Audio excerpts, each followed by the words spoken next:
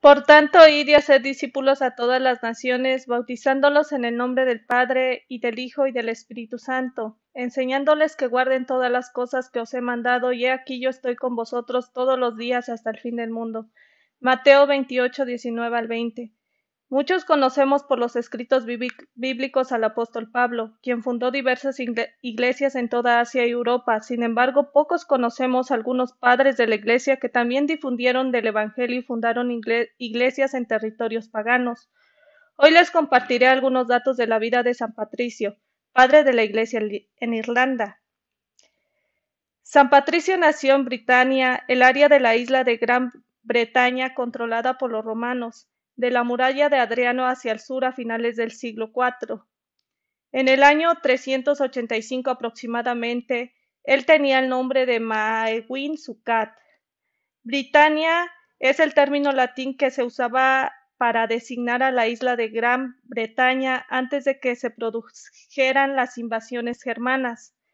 El nombre de Britania procede de la denominación latina Britania que se dio en el Imperio Romano a la isla. San Patricio relata en sus escritos que sus orígenes son como un hijo de un diácono y nieto de un sacerdote pertenecientes a la nobleza local de un pueblo británico romano.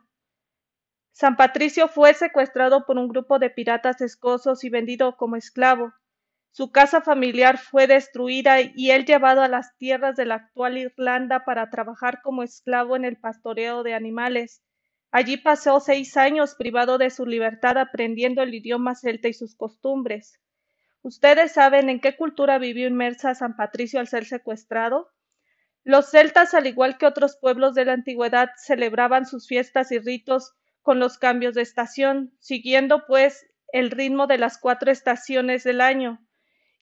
En estas cuatro estaciones las fiestas celtas eran la de San, San Jaín, Betayene, Imbol y Lugnasán. En ella el, nombre, hombre celta se abría a los poderes de la fertilidad, la purificación, el contacto con el mundo invisible de los muertos y la veneración del dios Lug.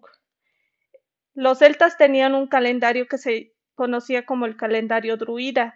Este calendario se basaba por las fases de la luna por lo que cada mes contaban con una mitad positiva luminosa y ascendiente que correspondía a la luna en cuarto creciente y llena, mientras que la mitad oscura y decadente y negativa se correspondía con las fases de la luna menguante y nueva, de la misma forma. Durante el periodo brillante se llevaban a cabo los conjuros y hechizos de magia blanca, mientras que las ceremonias secretas de magia negra tenían lugar en las fases oscuras. Durante la fiesta que se conocía como de San Maí, los celtas eh, celebraban originalmente a los muertos. Esta fiesta se celebraba la noche del 31 de, de octubre. En esta época se celebraba a los muertos y hasta esa creencia se celebra hasta la, hasta la actualidad. En esta fiesta los brujos y los hechiceros efectuaban sus peores conjuros y se encendían grandes fuegos para mantener lejos de los hogares a los espíritus malevos. En esta cultura creció inmerso San Patricio durante su secuestro, pero se dice que San Patricio en su espíritu hervía y crecía en la fe. Durante el cautiverio que pasó, eh, se dice que pasó rezando sin parar para que Dios le dijera qué podía hacer. Un día logró huir y, se consagró a la Iglesia. Se formó como un clérigo probablemente en el continente y acudió de nuevo a Irlanda llamado por alguno de sus habitantes. Se dice que San Patricio soñaba de que los irlandeses lo llamaban y él acudió a su llamado. Eh, es así como San Patricio regresa a Irlanda y pronto inició la evangelización de quienes habían sido sus amos. Centró su actividad evangelística en el noreste de la isla y fomentó la vía monástica. El monasticismo se desarrolló en Irlanda con una fuerza insólita. El fenómeno se extendió fuera de la isla y empezó a ejercer su poderosa influencia en el resto de la Europa cristiana. Eh, San Patricio es el hombre conocido por su es el como el primer evangelizador de toda Irlanda hasta este punto de que se le considera el único evangelizador de la isla.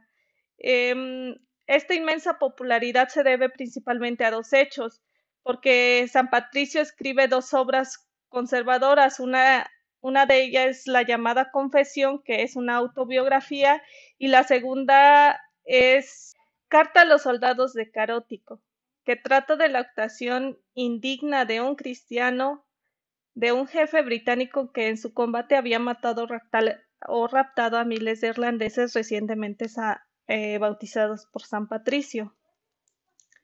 San Patricio fue un hombre que evangelizó a una a, la, Irlanda pagana, a Irlanda que tenía costumbres diferentes, a Irlanda le enseñó que había un solo Dios.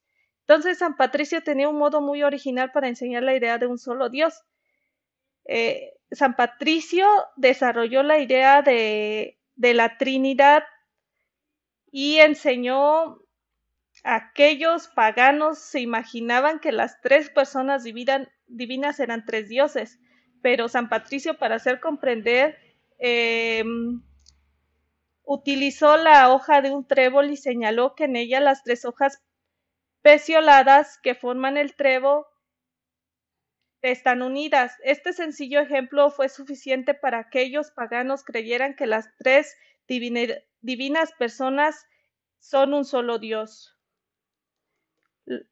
Lo misterioso de la vida de Dios es que en Dios solo hay una sustancia, una sola esencia divina en tres divinas personas, Padre, Hijo y Espíritu Santo.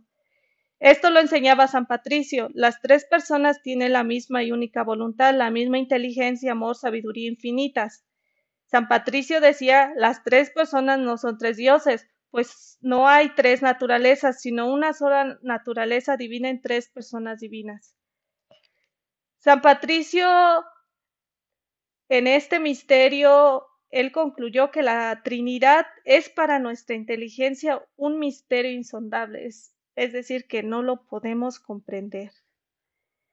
San Patricio vivió una vida muy difícil, el estar secuestrado y luego regresar a sus captores no debe de ser algún, no debe ser eh, algo fácil, pero hoy en nuestros días nosotros también tenemos a personas que no han sido alcanzados por el Evangelio.